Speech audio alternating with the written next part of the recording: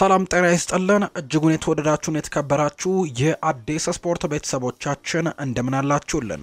ከእናንተው ከሆነው ከአዲስ ስፖርት የዩቲዩብ ቻናላችን አዳዲስ ስፖርታዊ መረጃዎችን ልናካፍላችሁ መጥተናል። ለተከታዮቹ ደቂቃዎች ከእናንተ ጋር ስንቆይም ከሀገር ውስጥና ከውጭ ያልተሰሙ አዳዲስ ስፖርታዊ መረጃዎችን በዛሬ ፕሮግራማችን ላይ አካተናል።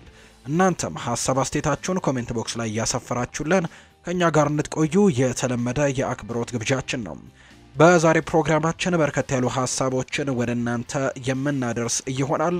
ከነዚህ መካከልም ትናንትና የተደረጉ ጨዋታዎች ያሉ የእነሱን የጨዋታ ውጤቶች እናስታውሳችኋለን። ዛሬም በተወዳጁ የእንግሊዝ ፕሪምየር ሊግ እንዲሁም በአፍሪካ ዋንጫና በሌሎችም የአውሮፓ ታላላቅ ሊጎች የሚደረጉ መርሃ ግብሮች አሉ። ስለነሱም የጨዋታ እንግዲህ ጥቆማዎች ወደ እናንተ የምናደርስ ነው የሚሆነው። ጊዜው የዝውውር መስኮት እንደመሆኑ መጠን የተለያዩ የዝውውር ዜናዎች እየተሰሙ ይገኛሉ። አርሰናል፣ ማንቸስተር ዩናይትድ፣ ቸልሲ፣ ሊቨርፑል፣ ማንቸስተር ሲቲ፣ ሪያል ማድሪድ፣ ባርሴሎናን የመሳሰሉ ታላላቅ የአውሮፓ ክለቦችን የተመለከቱ የዝውውርና ስፖርታዊ መረጃዎችን በስፋት እናነሳለን። ከዛ በተጨማሪ ደግሞ ማንቸስተር ዩናይትድ ትናንትና አመሻሹ ላይ እንግዲህ የቀድሞውን የማንቸስተር ሲቲ ሰው እንግዲህ መቅጠራቸው የሚታወስ ነው። ከዚህ ሰው ጋር በተያዘ ማን ናቸው፣ ምንድን ነው ኃላፊነታቸው የሚለውን ጉዳይ ነው በስፋት ወደ እናንተ የምናደርስ ይሆናል። እስከ ፕሮግራማችን ፍጻሜ ድረስ አብራችሁኝ እንድትቆዩ በአክብሮት ጋብዛለሁ። ለቻናላችን አዲስ ከሆናችሁ subscribe ማድረጋችሁን አትርሱ። ቪዲዮአችንንም like እያደረጋችሁ እንድታበረታቱን ነው የምንጠይቃችሁ። በቀጥታ ወደ ዛሬ ፕሮግራማችን አለፍን። ትላንትና የተደረጉ የጨዋታ ውጤቶችን በማስታወስ እንጀምር። በተወዳጁ የእንግሊዝ ፕሪምየር ሊግ ትላንትና ሁለት መርሃ ግብሮች ነበር የነበሩት። አርሰናል ትላንትና ከክሪስታል ፓላስ ጋር በሜዳው ኤምሬትስ ስቴዲየም ጨዋታውን አድርጎ በሰፊ የጎል ልዩነት አምስት ለዜሮ ማሸነፉን እናስታውሳለን። ከዛ በተጨማሪ ብሬንትፈርድ ደግሞ ኖቲንግሃም ፎረስትን ሶስት ለሁለት በሆነ ውጤት ያሸነፈበት ጨዋታ ትላንትና የተደረገ መርሃ ግብር ነው። ኢቫን ቶኒ ከስምንት ወራት እገዳ በኋላ እንግዲህ ትላንትና አንድ ጎልም ማስቆጠር ችሏል። ቡድኑም እንዲያሸንፍ መርዳት ችሏል። ከዛ በተጨማሪ የአውሮፓ ታላላቅ ሚዲያዎችም እንግዲህ የኢቫን ቶኒን መመለስ አስመልክተው ያወጧቸው ርዕሶችም አሉ። from banned to armband የሚሉ የፊት ገጾች ላይ እንግዲህ ያወጧቸው መረጃዎችን ነው ዛሬ ጠዋት መመልከት የቻልነው። ብሬንትፎርድ ትላንትና ኖቲንግሃም ፎረስትን ሁለት ለዜሮ ማሸነፍ ችሏል። በአፍሪካ ዋንጫ አልጄሪያና ቡርኪና ፋሶ ሁለት ለሁለት ተለያይተዋል። ትናንትና ሞሪታኒያ በአንጎላ ሶስት ለሁለት ተሸንፋለች። ቱኒዚያና ማሊ አንድ ለአንድ ነው ጨዋታቸውን ያጠናቀቁት። በ Asian ሀገራት ዋንጫ ጆርዳን ከ South Korea ሁለት ለሁለት ባህሬን ደግሞ ማሌዥያን አንድ ለዜሮ አሸንፋለች። በ Spanish ላሊጋ ራዮ ቫይካኖ በላስ ፓልማስ ሁለት ለዜሮ ተሸንፏል። ቪያሪያልና ማዮርካ አንድ ለአንድ ሲለያዩ ቫሌንሲያ አትሌቲክ ቢልባኦን አንድ ለዜሮ እንዲሁም ሪያል ሶሴዳድን በተመሳሳይ ሴልታ ቪጎን አንድ ለዜሮ በሆነ ውጤት ማሸነፍ ችለዋል። በጣሊያን ሴሪኤ ሮማ ሄላስ ቬሮናን ሁለት ለአንድ አሸንፏል። ኤሲ ሚላን ዩዲኒዜን ሶስት ለሁለት በሆነ ውጤት ነው ማሸነፍ የቻለው። በጀርመን ቡንደስሊጋ ኮሎኝ በቦሪሲያ ዶርትሙንድ አራት ለዜሮ በሆነ ውጤት ተሸንፏል። ዳርምስታድ ከአይንትራክ ፍራንክፈርት ጋር ሁለት ለሁለት ሲለያዩ ሃይደንሃይም ከቮልፍስበርግ እንዲሁ አንድ ለአንድ ተለያይተዋል። ፍራይበርግ ከሆፈንሃይም ጋር ባደረጉት ጨዋታ ፍራይበርጎች ሶስት ለሁለት በሆነ ውጤት ማሸነፍ ችለዋል። በውሃም ስቱትጋርትን አንድ ለዜሮ ሲያሸንፉ ትላንትና እንግዲህ አርቢ ላይፕዚሽና የዣቪ አሎንዞ ቡድን ባየር ለቨርኩሰን የሚያደርጉት ጨዋታ በጉጉት ሲጠበቅ ነበር። የዣቪ አሎንዞ ቡድን አሁንም አልሸነፍ ባይነቱን ቀጥሎበታል። ትላንትና ሶስት ለሁለት በሆነ ውጤት ነው ማሸነፍ የቻለው ባየር ሌቨርኩሰን አርቢ ላይፕዚሽን። በ French ኮፕ ደ ፍራንስ ደግሞ ፓሪስ ሰን ዠርሜን ከኦርሊያን ጋር ያደረገውን ጨዋታ አራት ለአንድ በሆነ ውጤት ማሸነፍ ችሏል። ኪሊያን ምባፔ ትላንትና ሁለት ጎሎችን ማስቆጠር ችሏል። ጎንካሎ ራሞስም ትላንትና ጎል ማስቆጠር የቻለ ተጫዋች ነው። ዛሬም ጨዋታዎች ቀጥለው ይደረጋሉ። በተወዳጁ የእንግሊዝ ፕሪምየር ሊግ ዛሬ ሁለት መርሃ ግብሮች ይደረጋሉ። ሼፊልድ ዩናይትድ ከዌስትሃም ዩናይትድ እንዲሁም ደግሞ በርንማውስ ከሊቨርፑል ጋር ይጫወታሉ። የጨዋታ ምሽት አንድ ሰዓት ከ30 ሲል የሚጀምር ነው። በአፍሪካ ዋንጫ ሞሮኮ ከ Democratic Republic of Congo፣ ዛምቢያ ከታንዛኒያ፣ ደቡብ አፍሪካ ደግሞ ከናሚቢያ ጋር ትጫወታለች ምሽት አምስት ሰዓት ሲል በኤዥያ ሀገራት ዋንጫ ኦማን ከታይላንድ እንዲሁም ካዛኪስታን ከሳውዲ አረቢያ ጋር ምሽት ሁለት ሰዓት ከ30 ላይ ይገናኛሉ። በ Spanish ላሊጋ ኦሳሱና ከሄታፌ፣ ሪያል ማድሪድ ከአልሜሪያ፣ ሪያል ቤቲስ ከባርሴሎና፣ ዢሮና ከሲቪያ ይጫወታሉ። በጣሊያን ሴሪኤ ፍሮሲኖኔ ከካግሊያሪ፣ ኢምፖሊ ከሞንዛ፣ ሳለርኒታና ከጄኖዋ ና ሊቼ ከዩቬንቱስ ጋር ሲጫወቱ በጀርመን ቡንደስሊጋ ባየር ሚኒክ ከቨርደር ብሬመን፣ ቦሪሲያ ሞንችግላድባህ ከኦግስቡርግ ጋር ይጫወታሉ። በኮፕ ደ ፍራንስ ሬንስ ከማርሴይ ጋር ምሽት አምስት ሰዓት ከአምስት ሲል ጨዋታው የሚጀመር ይሆናል። አጠር አጠር ያሉ የዝውውር መረጃዎችን እናጋራችሁ። ኒውካስል ዩናይትድ ከባየር ሚኒክ የቀረበለትን የ33 ዓመቱን ተከላካይ ኬራን ትሪፒየን ለማስፈረም የቀረበለትን ጥያቄ ውድቅ ማድረጉ ነው እየተነገረ የሚገኘው። ኒውካስል ዩናይትዶች ይህንን ተጫዋች አጥብቀው እንደሚፈልጉት ተናግረዋል። ባየር ሚኒክም የቶማስ ቱሄል ቡድን የኒውካስል ዩናይትዱን እንግሊዛዊ ተከላካይ ኬራን ትሪፒየን ሰሞኑን ለማስፈረም ጥያቄ ማቅረባቸው የሚታወስ ነው። ፍላጎት እንዳላቸውን በስፋት ሲነገር ነበር። ነገር ግን አሁን ላይ ማግፓይሶቹ ይህንን ተጫዋች ማቆየት እንደሚፈልጉ ነው መረጃዎች እየወጡ የሚገኙት። ከዛ በተጨማሪ ኒውካስል ዩናይትድ እንግሊዛዊውን አጥቂ ካሎም ዊልሰንን ከአትሌቲኮ ማድሪድ የቀረበለትን የውሰት ጥያቄንም ውድቅ ማድረጋቸው እየተነገረ ነው የሚገኘው። ነገር ግን ይህንን የውሰት ጥያቄ ውድቅ ቢያደርጉም ምናልባት የ31 ዓመቱን ተጫዋች በቋሚ ሊሸጡ የሚችሉበት እድል ግን እንዳለ እየተዘገበ ነው። ማንቸስተር ሲቲ ቤልጅማዊውን አማካይ ኬቨን ደብሮይናን የኮንትራት ማራዘሚያ ሊከፍቱለት እንደሆነ ተዘግቧል። የ33 ዓመቱ ተጫዋች የሳውዲ አረቢያ ፍላጎትን እየሳበ ነው የሚገኘው። በተለይም በቀጣይ የዝውውር መስኮት የክረምቱ ላይ ማንቸስተር ሲቲዎች ምናልባት ከበድ ያለ ጥያቄ ከወደ ሳዑዲ አረቢያ ሊቀርብላቸው እንደሚችል ይገመታል። ይህንን ተመልክተው ነው እንግዲህ ኮንትራቱን ለማራዘም ፍላጎቶች እንዳሉ እየተነገረ የሚገኘው። የቀድሞ የቼልሲና የማንቸስተር ዩናይትድ አለቃ የነበረው ዦዜ ሞሪኒዮ ከሮማ ከተሰናበቱ በኋላ እንግዲህ አሁን ላይ ወደ ሳዑዲ አረቢያ አምርተው አልሸባብን ሊረከቡ እንደሆነ ስፖርት ኢታሊያ ዛሬ ያወጣው መረጃ ያሳያል። ብራዚላዊው አማካይ ካሴሜሮ በማንቸስተር ዩናይትድ የ31 ዓመቱን ተጫዋች መሸጥ የተሻለ ነው ተብሎ በማመኑም ከዚህ የውድድር ዘመን ባሻገር በማንቸስተር ዩናይትድ የሚቆይበት እድል አጠራጣሪ እንደሆነ እየተዘገበ ነው። ምናልባት ወደ አንዳንድ የጣሊያን ክለቦች አሊያም ደግሞ ወደ ሳዑዲ አረቢያ የማምራት እድሉ ሰፊ እንደሆነም ተገልጿል። ካርሎስ ካሴሜሮ የማንቸስተር ዩናይትድ አሰልጣኝ ኤሪክ ቴንሃግ የ21 ዓመቱን ሆላንዳዊ የአያክስ አጥቂ ብሪያን ብሮቢን በጥር የዝውውር መስኮት ወደ ኦልድ ትራፎርድ ለማምጣትም ጓግተዋል ተብሎ የሚነገረው ማቲያስ ዲላይት በዚህ ክረምት ባየር ሙኒክን ለመልቀቅ ተዘጋጅተዋል። ማንቸስተር ዩናይትድ የ24 ዓመቱን ሆላንዳዊ ተጫዋችም ለማስፈረም ፍላጎቱን እያሳየ ነው። አርሰናልም የዚህ ተጫዋች ፈላጊ እንደሆነ ሲነገሩ ቆይቷል። ዌስትሃም የ23 ዓመቱን ናይጄሪያዊ አጥቂ ቪክተር ቦኒፌስን ለማስፈረም የዝውውር ሪከርዱን ለመስበር ዝግጁ ነው። ስፔናዊው ተከላካይ አይመሪክ ላፖርት ባለፈው ክረምት የማንቸስተር ሲቲ ለቆ አልናስርን የተቀላቀለ ሲሆን የ29 ዓመት ወጣት እንግዲህ በሳዑዲ ፕሮ ሊግ እንግዲህ ጨዋታዎች ላይ ከባድ እንደሆነበት ነው እየገለጸ የሚገኘው። የ20 ዓመቱ የላይፕዚሽ እና የስሎቬኒያዊ አጥቂ ቤንጃሚን ሴስኮ ኮንትራቱ ላይ 43 ሚሊዮን ፓውንድ የውል ማፍረሻ ቢኖርም በክረምቱ ይህ ነገር ሊሰራ እንደሚችል ይታሰባል። ማንቸስተር ዩናይትድ፣ ቼልሲ እና አርሰናል የቤንጃሚን ሴስኮ ፈላጊዎች ናቸው። ኤቨርተን የ31 ዓመቱን የማሊ አማካይ አብዱላሂ ዶኮሬን ከአልኢቲፋክ ጋር ተያይዘው እንግዲህ ለማቆየት ቆርጠዋል። የሳውዲ ፕሮሊግ የ33 ዓመቱን አማካይ ጆርዳን ሄንደርሰንን ወደ አያክስ ከተዘዋወረ በኋላ እሱን ለመተካት የ31 ዓመቱን የኤቨርተኑን እንግዲህ ተጫዋች ለመተካት ዶኮሬን ለመተካት ፍላጎት አላቸው። ኒውካስልና ቦሪሲያ ዶርትሙንድ የጥር የዝውውር መስኮት ከመዘጋቱ በፊት የ18 ዓመቱን ፈረንሳዊ አጥቂ ዴሲር ዶዌን ከሬንስ ለማስፈረም እየተንቀሳቀሱ ነው። አስተን ቪላ ለ21 ዓመቱ እንግሊዛዊ አማካይ ሞርጋን ሮጀርስ ለሚድልስቦሮ ትልቅ አዲስ ጥያቄ ለማቅረብ ዝግጁ ናቸው። ማንቸስተር ሲቲ ብራዚላዊውን የክንፍ መስመር ተጫዋች ሳቪዮን በውሰት ከፈረንሳዩ ክለብ ትሮይስ በውሰት በማምጣት ለእንግሊዙ ክለብ ሲቲ እግር ኳስ ግሩፕ ለሆነው ክለብም አሳልፈው ሊሰጡት እንደሚችሉ መረጃዎች እየወጡ ይገኛሉ። ኦማር ቤራድ በስፖርት ድርጅት ዋና ስራ አስፈጻሚነት የሚታወቅ ሲሆን በዚህ የስራ ዘርፍም የሚደነቅ ክህሎትና ጥበብ አለው። ቤራድ የአንድ የስፖርት ድርጅት ዋና ስራ አስፈጻሚ እንደመሆኑ የድርጅቱ ስትራቴጂካዊ አቅጣጫዎች አሰራርና አጠቃላይ ስኬትን የመቆጣጠር ኃላፊነት አለበት። ይህም እንግዲህ ሽርክናዎችን ማስተዳደር፣ የገቢ እድገትን ማበረታታት፣ ከተጫዋቾችና ባለድርሻ አካላት ጋር ግንኙነትን መፍጠርና የድርጅቱን የኢንዱስትሪ ደንቦችንም እንግዲህ በሚገባ ማስከበር ነው። የቤራድ የአመራርነት ዘይቤና የስፖርታዊ ዘርፉን ውስብስብ ነገሮችን የመዳሰስ አቅም እንዳለው ይነገርለታል። እየተሻለ ካለው የስፖርት ገጽታ ጋር የመላመድ ስምምነቶችን የመደራደርና ለድርጅቱ አጠቃላይ እድገትና ስኬትም አስተዋጽኦ የማድረግ ብቃቱ ትኩረት የሚስብ ሰው እንደሆነ አድርጎታል። በተጨማሪም የስልታዊ እይታና የቢዝነስ ብቃቱ የድርጅቱን የእድገት ጉዞ በመቅረጽም ረገድ ትልቅ ሚና ይጫወታል። ስትራቴጂካዊ ውሳኔ አሰጣጡ፣ የፋይናንስ አስተዳደርነቱ፣ አመራርና አዎንታዊ እንዲሁም ሁሉንም አቀፍ ድርጅታዊ ባህልን የማሳደግ ችሎታውና የመሳሰሉ የተለያዩ የሚከውናቸው ተግባራት ሰውየውን ተወዳጅ አድርገውታል። በማንቸስተር ዩናይትድም እንግዲህ አሁኑ ስራ ይጀምራል ተብሎ ይታሰባል።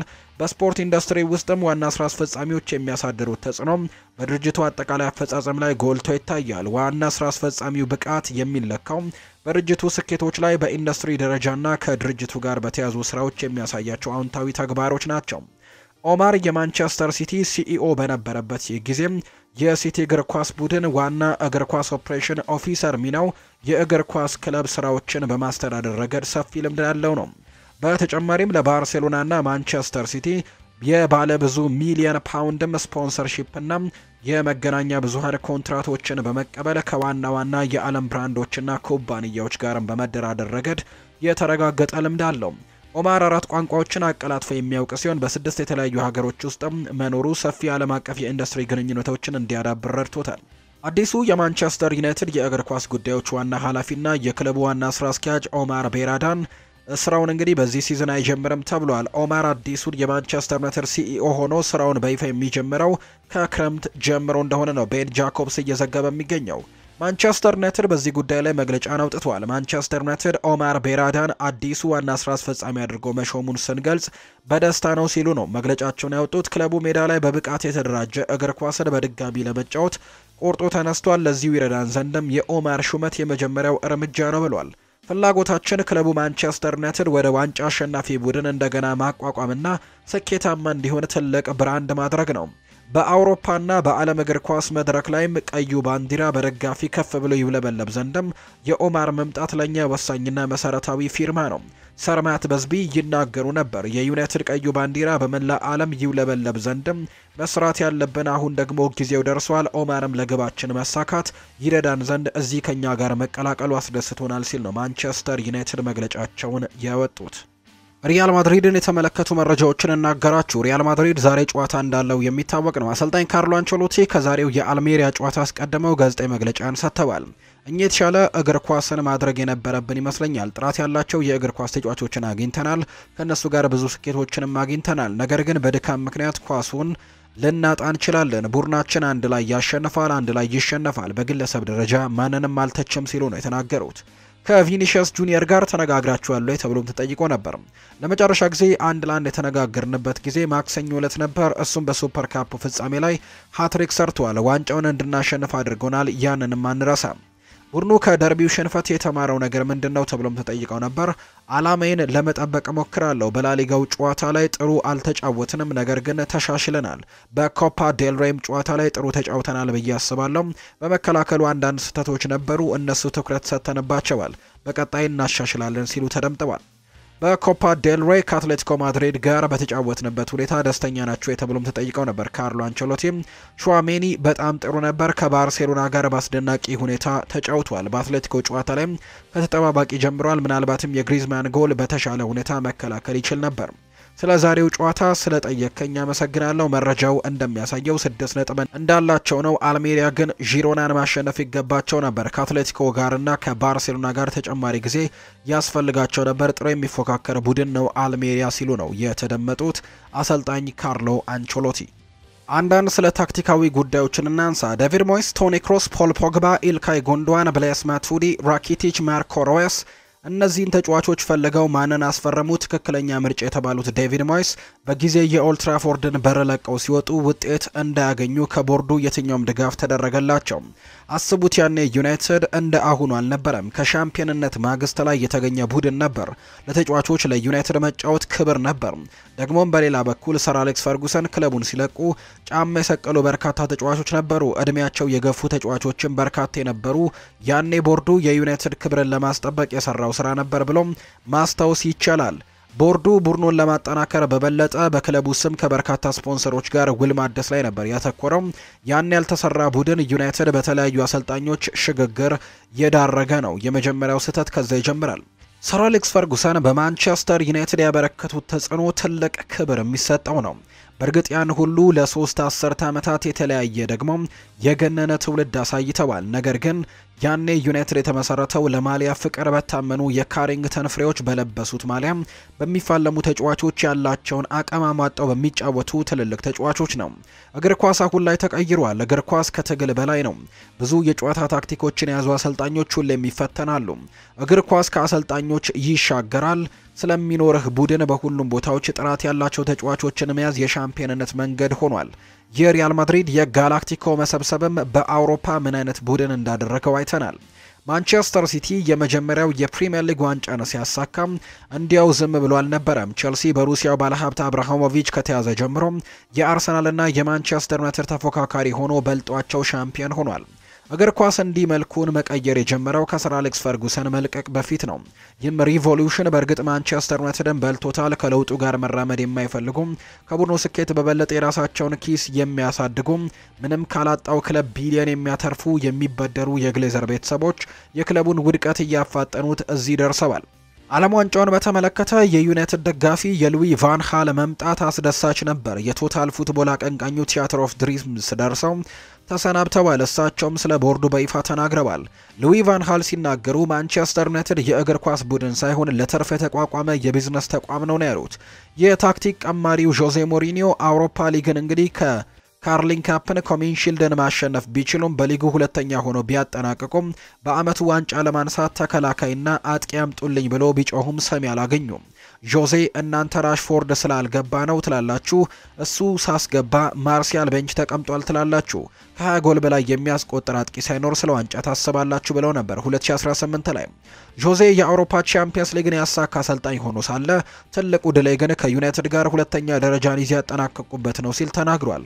ከቦርዱ ጋር መስማማት ያልቻለ ሌላኛው አሰልጣኝ በመሆንም ለስንብት ተዳርጓል። ሮም በአንድ ቀን አልተገነባችም። the baby face እያሉ የሚጠሩት የ1998ቱ ክስተት ኦሌ ጉናር ሶልሼር የተጫወተበትን ክለብ ሊመራ ከባዱን ኃላፊነት ወሰደ። press conference ላይ ይችን ቃል ይደጋግማት ነበር። ሮም በአንድ ቀን አልተገነባችም። ሶልሼር የውጤት አደጋ ላይ የነበረው ማንቸስተር ዩናይትድን ወደ ውጤት ለማምጣት ብዙ አልተቸገረም። ተጫዋቾቹን በተለያየ የጓደኝነት መንፈስ አይቶ በሞራልና በተነሳሽነት እንዲጫወቱ አደረገ። ሌላው ቡድን መያዝ፣ የቡድን ስሜቱን መጠበቅ፣ ከሰር አሌክስ ፈርጉሰን መማሩ ለውጤቱ ማማር መንስኤ ሆኖ አዲስ ኮንትራት አስገኘለት። ቦርዱ በዝውውር ሪከርድ ሰባሪ ሃሪ ማጓየርን ማስፈረም ችሎ ነበር። ነገር ግን ይህ በዦዜ ጊዜ ፖል ፖግባ በጫና የተነሳ እንዳስፈረሙት ሁሉ የሃሪ ማጓየር ዝውውር ያልተጠናና ከቀውስ ለመዳን በፈጠኑበት ዝውውር እንደሆነ ይነገራል። ኦሌን ለመደገፍ የሚዲያ ጫና የፈጠሩት የቀድሞ ጓደኞቹ መሆናቸው ሳይዘነጋም ቦርዱ ከወቀሳ ለመሸሽም በዚህ አይነት ዝውውር ራሱን አስፈጽሟል። ለወረት ከኦሌ ጉናር ሶልሼር ጎን የቆሙ የሚመስሉት የቦርዱ አመራሮች ኦሌን ለማገዝ ተነሳሽነት ጎድሏቸው ተመልክተናል። አንድን ተጫዋች ለማስፈረም አንድ ወቅት አንድ የዝውውር መስኮት ይጠብቃሉ። ለዚህም የብሩኖ ፈርናንዴዝ ዝውውር እጅግ አሰልቺና በክረምቱ ማለቅ ሲገባ በወርሃ ጥር መምጣቱ ይታወቃል። እሱም የኤድ ውድዋርድ ቤትን እስከ ማቃጠል ደርሶ ደጋፊዎችን ቁጣ ስላሳዩ ነው። ኦሌ ጉናር ሶልሼር እንደ ዦዜ አሊያም እንደ ሉዊ ቫን ሃል ክለቡን አደባባይ ማውጣት አልፈለገም። ስለ ቦርዱ ሲጠየቅ ደግሞ ይደግፉኛል እያለ ፈገግታውን ከመለገስ ውጪ ምንም ነገር አላለም ነበር። ተፈጥሯዊ የተከላካይ አማካይ ኒማንያ ማቲች ብቻ ይዞ እሱም በዕድሜ መግፋት ከሊጉ ፍጥነት ጋር ተደምሮ በአመት 60 ጨዋታዎችን መጫወት አይችልም። ቡድኑ ባሉት ተጫዋቾች ለማጠናከር የሞከረ የመከላከል መዋቅሩን ለማስተካከል ፍሬድና ስኮት ማክቶሚናይን ማጣመርን መረጠ። አልተሳካለትም አይባልም። ሾ፣ ቢሳካ፣ ሃሪ ማጓየር፣ ቪክተር ሊንድሎፍ እና ማክቶሚናይ እንደውም ፍሬድን መጣመር የሚገቡ ጎሎችን መቀነስ ቻለ።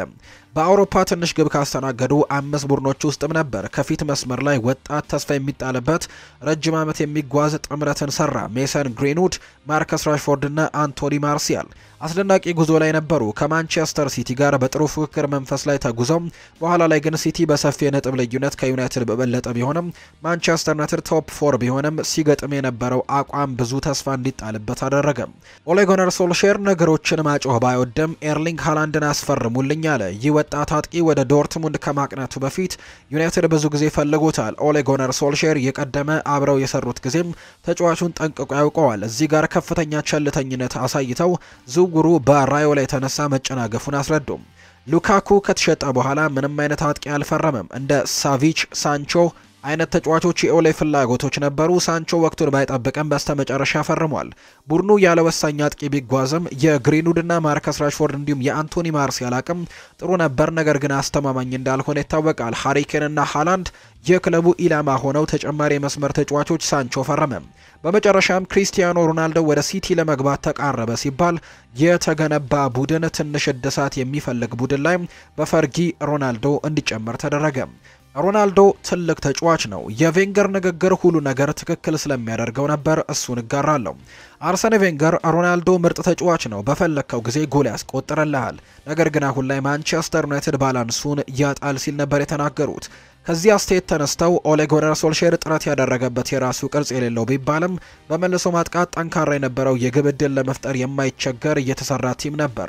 አንዳንድ ጨዋታ ሰዓቱ በገፋ ቁጥር የቀድሞው ዩናይትድ ያስታውሳል። የኦሌ ቡድን የፈረሰው በሶስት ምክንያት ነው። አንደኛ የዝውውር ድክመት ነው። ዩሮፓ ሊግን ለማሸነፍ ፍጻሜ የደረሰ በፕሪምየር ሊጉ ሁለተኛ ያጠናቀቀ ጠንካራ ቡድኖችን የሚያሸንፍ ቡድን ተሰርቶ ነበር። እዚያ ጋር ለየርገን ክሎፕም ሆነ ለፔፕ ጋርዲዮላ የተሰጣቸው የቡድን ግንባታ ለኦሌ ቡድኑ ሲገነባ ሶስት የዝውውር መስኮቶች ቢጠቀም በየውድድር ዓመቱ ክፍተቶቹን የለየ ዝውውር ቢደረግ ኖሮ የተሻለ ነገር ይመለከቱ ነበር። የቡድኑን ሚዛን መጠበቅ ሁለተኛው ነው። ከደካማው ዝውውር የመጣ ሌላ ችግር ነው። ለምሳሌ ብዙ የመስመር አጥቂዎች የሰበሰበ ቡድን ሆኖ በወቅቱ የሚያስፈልገውን department ሳይጠግን ሳንቾን የመሳሰሉ ተጫዋቾች መጡ። ያኔ የቡድኑ መዋቅር መፋለሱ ምንም አያስተውልም። በዚህ ዝውውር ደጋፊው ሲደሰት የሚያስፈልጉ ተረሱ። ይሄ በአሁኑ ስብስብ እንግዲህ ጦስ መሆኑ እያየን ነው። ብዙ ተጫዋቾች የግራ መስመሩ ላይ ማጥቃት የሚመቻቸው ተጫዋቾች ናቸው። ራሽፎርድ አቋሙ ከመውረዱ በላይ የተያዘውን ቦታ እያባከነው ነው። ምክንያቱም ሳንቾም በዛ ቦታ ሲጫወት ምን እንደሚያደርግ ደጋግሞ አሳይቷል። አሁን ላይ ራሱ ዩናይትድ በብዛት ለማጥቃት የግራ መስመሩን ይጠቀማል። ያ ማለት አብዛኛው ቡድኑ በአንድ ቦታ ላይ ያተኮሩ ተጫዋቾች ላይ የተሰበሰበበት። ለዚህ ነው ኤሪክ ቴንሃግም አንቶኒን መፈለጋቸው። ሌላ ብዙ አማካዮች በኦሌ ጉናር ሶልሼር ዘመን ነበሩ። ስኮት ማክቶሚናይ፣ ፍሬድ፣ ፖል ፖግባ፣ ብሩኖ ፈርናንዴዝ፣ ጆሲ ሊንጋርድ፣ ኔማኒያ ማቲች። አብዛኞቹ ግን የአጥቂ አማካይ ሲሆኑ defensive midfielder መሆን አይችሉም ከማቲች በስተቀር። ይህ ለአሁኑ ዩናይትድ ሌላው ችግር ነው። ማጥቃትን ከመከላከል ጋር balance የሚያደርግ ምርጥ central defensive midfielder የላቸውም። የክሪስቲያኖ ሮናልዶ መፈረም እና ኦሌ ጉናር ሶልሼር እሱን ያላማከለ የጨዋታ ዘይቤ አለመቀየር ነው። ለሮናልዶ የሚሆን ጨዋታ ለቡድኑም የሚጠቅመው ብሩኖና ፖል ፖግባን ማጣመር፣ ከቢሳካ በተሻለ ደግሞ cross የሚያደርግ ማጥቃት ላይ የሚሳተፍ ተጫዋች ማስፈረም ነበረባቸው። ለዛ ነው ለሮናልዶ አልመችም ያለው። አስቡት ፖል ፖግባ ከብሩኖ ጋር እንዳይጣመሩ የፖግባን ጉዳትና የተከላካይ አማካይ አለመኖር ማክቶሚናይና ፍሬድን መጣመራቸው assist የሚያደርጉትን እድል አሳጥቷል። ቢሳካም ማርሴሎ አይሆንም። በዚህ የተነሳ ነበር የኦሌ ጉናር ሶልሼር ቡድን ሊጠቀሙበት ያልቻለው። ሮም በአንድ ቀን አልተገነባችም እያለ በፈገግታ ሽንፈቶቹን ተቀብሎ ቦርዱን ሳያጋፍጥ እሱን ታክቲክ አልባ አድርጎም ተሰናበተ። ጥሩ ተመኝቶ በሽንፈቶቹ እንዳልሳቀ በሽኝቱ እንባው ታየም። ለካሱ በውስጡ ሁሉንም ያውቃል። ግሌዘሮች ግን ተገኙ ሲባሉ መልካቸውን ይቀይራሉ፣ ሲቃወሟቸው በ record ያልተጠና ዝውውር ይፈጽማሉ። ደጋፊው እንደገና ይበርዳል። የማንቸስተር ዩናይትድ ፈተና እነሱ ናቸው። የውድቀቱን መንስኤ እነሱ ሆነው ቀጥለዋል። ከኦሌ ስንብት ወዲህ አንቶኒዮ ኮንቴ በዚህ ፈታኝ ቦታ ተጠብቆ ነበር። እሱም ይህንን ቦታ ለማግኘት ጓጉቶ የነበረ ቢሆንም ነገር ግን የቢዝነስ ትርፍ ሰብሳቢዎች እሱን ሙሉ በሙሉ ቡድኑን ለመቀየር ቁርጠኛ መሆኑን ያውቃሉ። ይህንን ደግሞ አይወዱትም። ራሳቸውን ባላጠኑት ዝውውር ብዙ አውጥተው፣ ስለዚህ ምርጫቸው ማውሪሲዮ ፖቼቲኖና ኤሪክ ቴንሃግ ላይ አድርገው ጊዜያዊ አሰልጣኙን ራልፍ ራኒክን አድርገው ሹመት ሰጡ። ይህ ሰው በአጨዋወት ሀሳቢው የጀርመን እግር ኳስ አብዮተኛ ነው። ለየርገን ክሎፕ አርአያ ሲሆን ለቶማስ ቱሄል እዚህ መገኘትም ከፍተኛ ድርሻ አለው። የማንቸስተር ዩናይትድ ተጫዋቾች በአንዴ ለካቸው። በሱ ፍልስፍና እንደማይጓዙ ተረዳ። ለቦርዱ ተጫዋቾችን ጠቆመ። ቦርዱ ግን ሊሰማው አልፈለገም። ራልፍ ራኒክ ተጫዋችን በማየት አንቱታን ያገኘ ሰው ነው። ለቦርዱ ጥሩ ተጫዋቾችን ቢጠቁምም ቦርዱ አዲስ አሰልጣኝ በራሱ እንዲያስፈርም በሚል ዝውውር ሳያደርግ ቀረ። ራልፍም ስብስቡን ከራሳቸው ሀሳብ አውጥተው ማጫወት ጀመሩ። በፍጥነት ፕረስ ማድረግ ይህንን ለመተግበርም እስኳዱ በቂ እንዳልሆነ ያውቃል። ማንቸስተር ዩናይትድን ለመገንባት ጊዜ ያስፈልጋል። ሶስትና አራት ተጫዋቾች በቂ አይደሉም፣ እስከ አስር ተጫዋቾች ያስፈልጉኛል ሲልም ተናገረ። በአማካሪነት እንዳይቀጥሉ ሆነ ቦርዱ ጭው የሚያደርግ ንግግር ስለተናገሩ ይህንን እሳቸው በአሰልጣኝነት መቆየት አያስፈልግም ነበር። ነገር ግን በስምምነት ከቦርዱ ጋር ተለያዩ። ሮይ ኪን ይናገራል። የዩናይትድ አሁናዊ ውጤት አያስደነግጠኝም። እኔ ብዙ ተስፋ አለኝ። ነገር ግን ሁሉም አሰልጣኞች ላይ የታየው ችግር ከተደገመ የዩናይትድ ተስፋ በኖ ይጠፋል። ያን የሚያስደነግጠኝ የዩናይትድ ከፍተኛ የአመራር ችግር ያለበት ነው። ግሌዘሮች ከኪሴ ምን ጎደለ እንጂ ለክለቡ ምን ጎደለ አይሉም። ሁሉም እጣ ፈንታ ማንቸስተር ከተማ ባሉ ደጋፊዎች እጅ ነው። እነሱ ናቸው ብዙ መለወጥ የሚችሉት። ያም ሆነ ይህ ግን እሳት ኤሪክ ቴን ሃግ ለመጋፈጥ ከፊቱ ቆሟል። እስከየት ይጓዛል። ቀንና ጊዜ ያሳየናል። የተወደዳችሁና የተከበራችሁ ቤተሰቦቻችን ለዛሬ የያዝንላችሁ አዳዲስ ስፖርታዊ መረጃዎቻችን እነዚህን ይመስላሉ። ስላደመጣችሁን፣ ስለተከታተላችሁን፣ ስለምትጽፉልንም እጅግ ከልብ አድርገን እናመሰግናለን። ቪዲዮችንን like እያደረጋችሁ ለወዳጅ ዘመድም share እያደረጋችሁ እንድታበረቱን የተለመደ የአክብሮት ግብዣችን ነው። በነገው ጠዋት በሚኖረው የስፖርት የመረጃ ሰዓታችን ሌሎች አዳዲስ ስፖርታዊ መረጃዎችን አካተን በስፋት የምንገናኝ ይሆናል። ስላደመጣችሁኝ ከልብ አድርጌ ያመሰግናለሁ። እወዳችኋለሁ። መልካም ምሽት እንዲሆንላችሁም በአክብሮት ተመኘሁ።